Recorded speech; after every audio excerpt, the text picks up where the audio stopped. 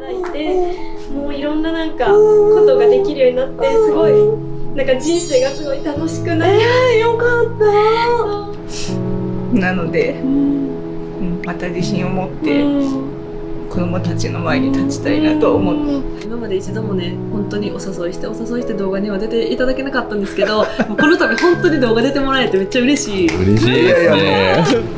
宝物です私の。人生を変えてくれた場所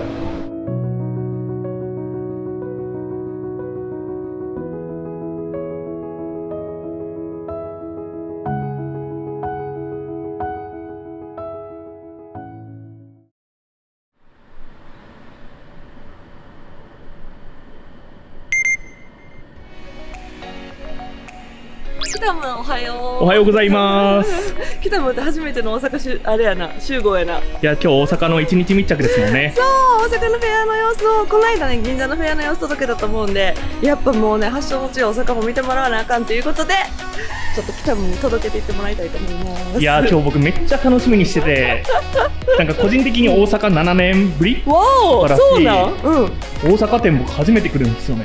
いやそうやんな私なんか北見大阪店に来たことあったっけとかってめっちゃ思っててなんかしかもそわそわしてるな 朝からそうなんですよ。大阪ではどんな人に会えるか楽しみですね。ねえじゃあ行ってきますはーい。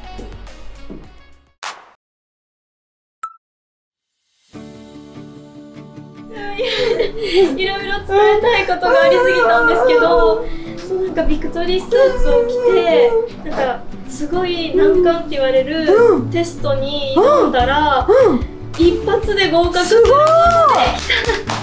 すごすぎえめっちゃすごい。いや本当にその感動しちゃって、うビクトリースーツ着て湘南とか行くと、皆さんから、スーツいいね」とか言ってね、また新しい授業とかもなんかすごー。なんか提案してくださって皆さんが、いやもう社長のおかげでこうやって家業を継いで,、でなんか本当は心配だったんですけどもうなんか最近はすごいいろんな方からお声掛けいただいてもういろんななんかことができるようになってすごいなんか人生がすごい楽しくなりえー、よか本当にありがとうございます。私もまた会えて嬉しいね こうやって気持ちを伝えてくれてねすごくない？気持ちを伝えるってめっちゃ大事だと思う。本当ですね。いや、社長、いきなり大阪のお客様素敵な人じゃないですか。フェアって、なんかあの新規のお客様だけじゃないんですね。そうやね、まあ、やっぱりその割合で言うとその勝友美に会えるフェアとかになるとさ初めて社長に会ってみたいっていうので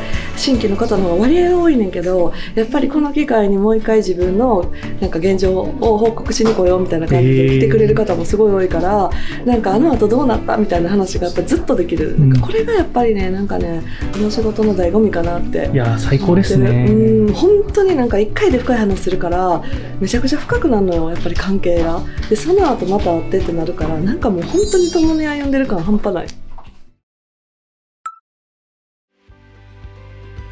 今回スーツはなんかどんな流れで作ろうかなって思ったんですか？あ、えっ、と今営業職してまして、でお店自体も起業して6年目なんですけど、そこであのこう6年目に入った時に新しい新境地として、あの新しい場のところにちょっとこう営業の方に行きたいなと思ってまして、今までは結構自分の、えーまあ、私服というかだったんですけど、やっぱり自分がこれから行くぞっていうその戦闘服みたいな形で、そのカッサのスーツをもうぜひ着たいと思っていたら。めちゃくちゃ素敵じゃないですか。なんかさっきちらっとなんか試験の勉強されてるっていうのなんか聞いたんですけどな何なんかどんな感じのことしてるんですか今。今神戸市の公務員の試験を受けようと思ってまして、えー。もう少しで試験日なんですけどそれに向けてちょっと勉強頑張って大丈夫ですか？試験日の前に。大丈夫です。もう毎日毎日あの自分が今日はこれだけやるっていうのは決めてそれは毎日やってるんで全然大丈夫です、え試験の結果が出るのが8月でね。入社式が10月でそれに着るスーツなんで入社するまで一生着れないかもしー、れない。あなるほど。なるほど。すごいコンセプすトで。ごい。すごい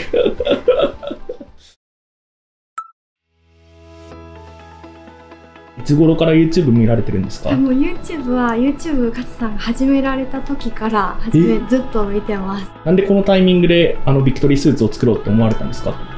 実はもともと私あの看護師で病院勤務でしあの働いてたんですけども、まあ、今回あの美容点滴のサロンのあの営業で看護師として営業を回らせていただいてましてあのサロンさんだったりとかフィットネスのジムだったりとか会社さんだったりとかに営業で福利厚生で入れさせてもらえたらどうかなだったりとかこうたくさん事業をちょっと広めている段階でして、すごい。この4月からあの営業のお仕事をしておりましてその営業で回らせていただくのにもうビクトリースーツのパワー絶対必要って思ってあの今回作らせていただくためにわあ、ありがとうございます。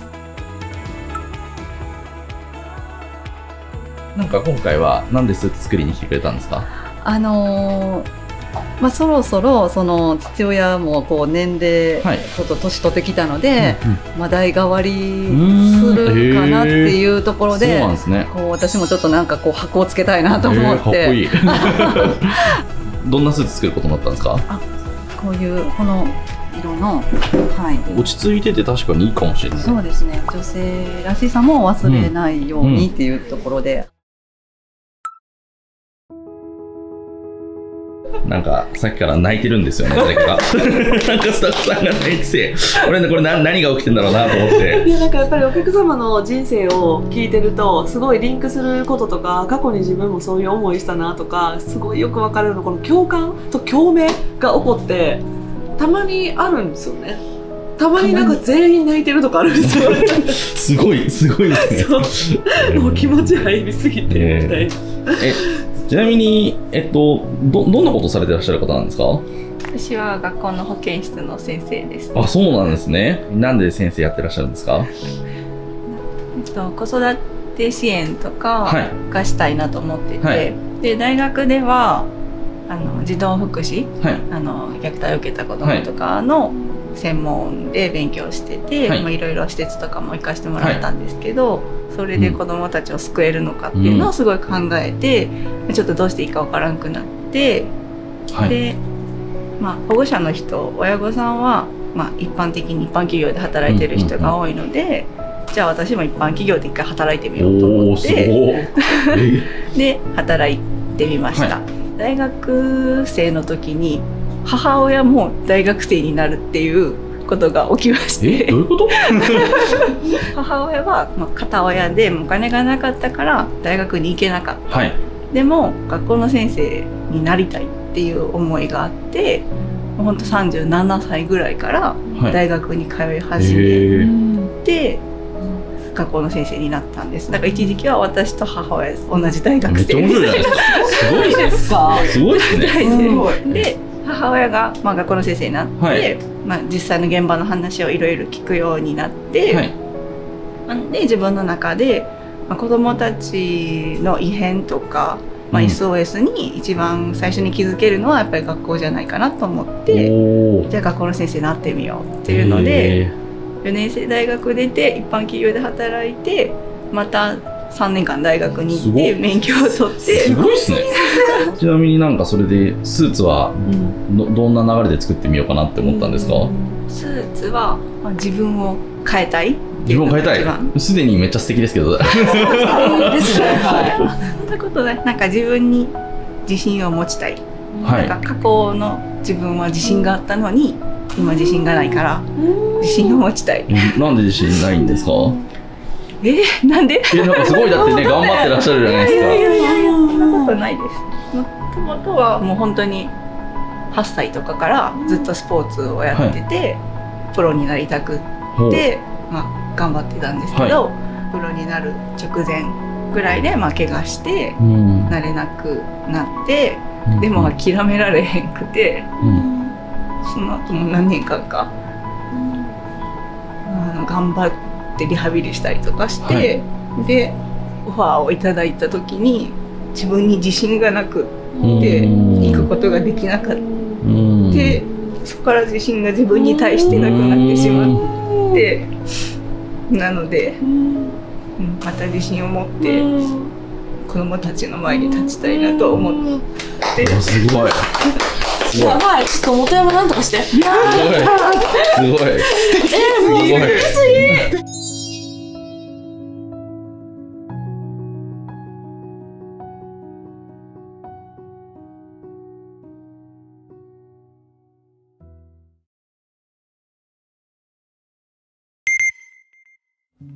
ていうかさ北分大阪店初めてじゃない？いやそうなんですよ。なんか一緒にいすぎてもうとっくの昔に来てると思ってた。いやもう結構テンション上がってますね普段よりも。はい！おめでとう大阪デビュー。ありがとうございます銀座店と違ってなんかすごく歴史を感じるっていうか。そうやろ。店内もちょっとアンティーク調に作ってるっていうのもあるかも。あとなんか東京は東京でさあの開けた感じがいいけど、うん。大阪はあのクローズドな感じでめっちゃ仲良くなんねん深く。へえでもどうやった？ら見てみて。いや普段僕あの銀座店の勝社長とか本当にキラキラした姿しか見たことなかったんですけどなんか本当に昔はお金なくてああいう小さいお店から始まったんだなっていうのをなんか改めて感じましたね。えあのお店見たらなんかお金なかったんやなって分かった。わかりますもう本当に。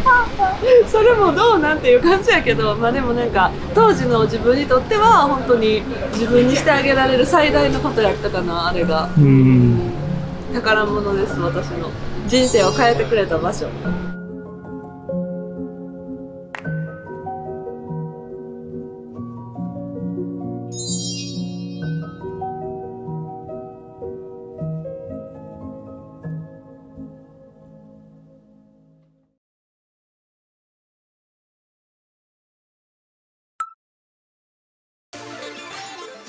ミューズに来られたのは初めてなんですか？2回目あ2回目なんですね、はい。前回じゃあスーツを作りに？あ前回はシャツを作りに。来えてー、シャツ。はい。最近は結構なんか女性のお客様でシャツ作られる方増えてきてるんであすよ。そうなんですね。しかもその時にたまたま社長の出張で社長にお会いしてるんですよ、えー。そうなんですすごい嬉しかったっていうのもあって次スーツを作ろうっていう話をしてたらその数日後にまさかのパリコレフェアの受注会の。おお来てそれで申し込んだっていう、でも普段ってどんなお仕事をされてるんですか？普段は僕はあのヘルメットかぶって直旅履いてー。現場仕事してます、建築系ですか？建築系です。えねー。えじゃあ建築系ってことはあまりスーツ着られるイメージがないんですけど。スーツはほとんど着ないですね、へー。まあ、なんかに表彰されたりとか食事に行ったりとか神社に行く時とか。神社。確かに大事、はい。確かに大事。でまあちょっと買い物行く時とかちょ,、ちょっとえー。店行く時は着ると、ねなんか気も引き締まって、そんな時しか着ないですけど、いやでもなんかこう仕事で必要性があるから着るしかないじゃなくてそれは必要性ないねんけど、違うところで自分の気持ちが変わるからっていうのがこれなんかね私もう一番やと思っててなんかだって心が動かへんにやったらさ、なんかいらんやん。うん、なんでそれを仕事以外のところでやっぱ仕事以外のところでもねスーツは山ほど着るシーンがあるんですよ。ねそうです。そういうことです。ね普段ってどういうお仕事されてるんですか？えっと、医療職で鍼灸師っていう針と木を使っへてえやってる職業になります。鍼灸師さんだとあんまりスーツっていうイメージが湧かないんですけどお仕事でスーツを着られるって感じなんですか？いや、ちょっとそこの仕事とちょっとだけ離れることになるのでお、ちょっとその人生の岐路っていう形になるので、えスーツを。じゃあもうすごくいいタイミングっていうかそうです。すごいいいタイミングでさせていただいて、はい。今だと思った。そう。すごい。本当に、ちょっとドキッと。めっちゃめっちゃ驚かそうと思って。今だでもなんか人生のターニングポイントに作りに来てくださる方めちゃくちゃ多いからなんか何かをこう吸収した時もターニングポイントやし何かを手放した時もターニングポイントじゃないですかそういう時になんかここに来てくれてよし頑張ろうとかっていうので今日ね来てくれてるからそうそれすごい嬉しいです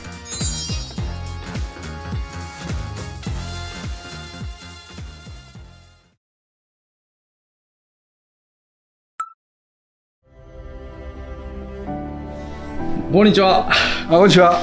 あれ、もしかして、僕見たことあります。あれ、そうですね。めいちゃんの生みの親の会社の日本ムートンさんの、あれ、常務の方ですよね。いやーそれが実は、えー先日社長になることになりました。社長になったんですか？おめでとうございます。えー、本当におめでとうございます。ありがとうございます。えー、すごいですね。ビクトリアスーツのおかげです。ありがとうございます。ね、夢は叶いますね。よあー。村本さん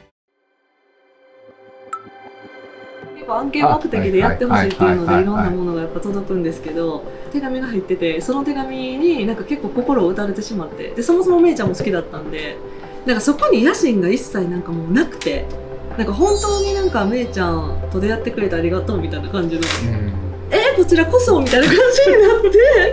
でしたね。その時めいちゃんを多分めでてるシーンを見てそういう対応してくださったんだと思うんですけど、はいなんか当時どんな心境だったんですか？いやもうそのまああまり僕も SNS にあのおよくあんまり知らなかったんですけど、またちょっと知人の方から、出してくれてる人がいますっていうのを教えてもらって、新幹線の中で早速見たら、そのシーンがあって、あこれはと思ってもう嬉しくてもうその新幹線の中でどうもう動画を見たところでもうとりあえずメールを送ったのが最初でしたね。すごい。すごい本当に人を喜ばす天才でなんか営業とは何か簡単やで人を喜ばすだけやんって言われてたんですよ。究極やなと思って。究極ですねなんかそれを聞いたのは出会って1年以上経ってからなんですけどそれまでの間に本当にそれを体現されててもういつも本当に見守ってくれてて日本ムートはミューズを応援してる会社やからとかっていうメッセージとかくれるんですよ。その言葉だけじゃなくて、とんでもないプレゼントがいつもサプライズで届きますよね。そう考えてね準備しておかないとまあ自社製品なんであれぐらいしかできないんで。ありますけどなんかうーんそうでなんか今まで一度もね本当にお誘いしてお誘いして動画には出ていただけなかったんですけど もうこの度本当に動画出てもらえてめっちゃ嬉しい嬉しいですいやいねや。恥ずかしいばかりでありがとうございます。もう本当にみんなもう村本さんの赤煎じてで私も本当に思ってる全てが勉強になるすごいですよね。うん、皆さんこれからも日本フートンとビューズの応援をよろしくお願いします。ちょっと入れてきましたね教えてくれへんし。本当ですよ。そう。おめでとうございます。ありがとうございます。すみません。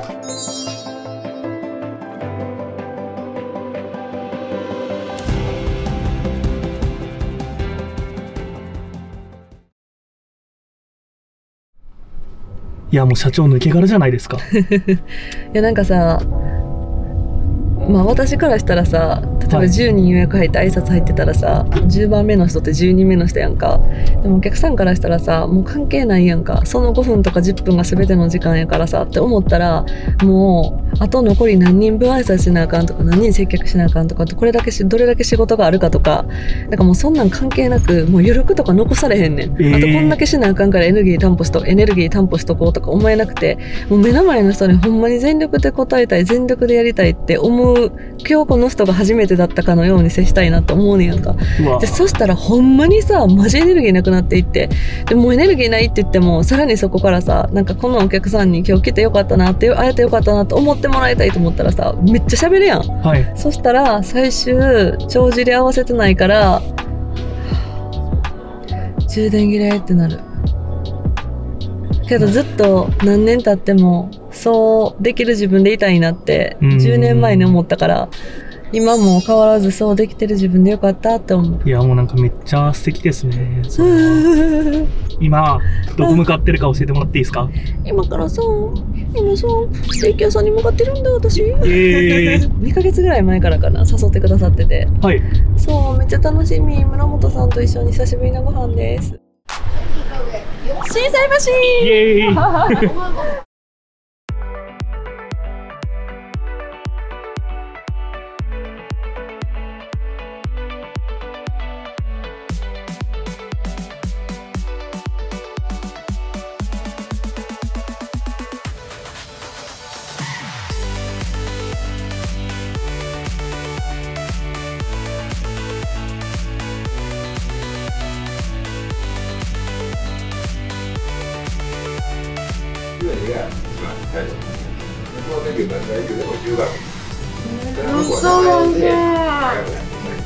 めっちゃ美味しい。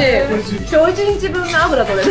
えめっちゃ美味しい。ー、村本さんありがとうございます。まだ俺が出てきた。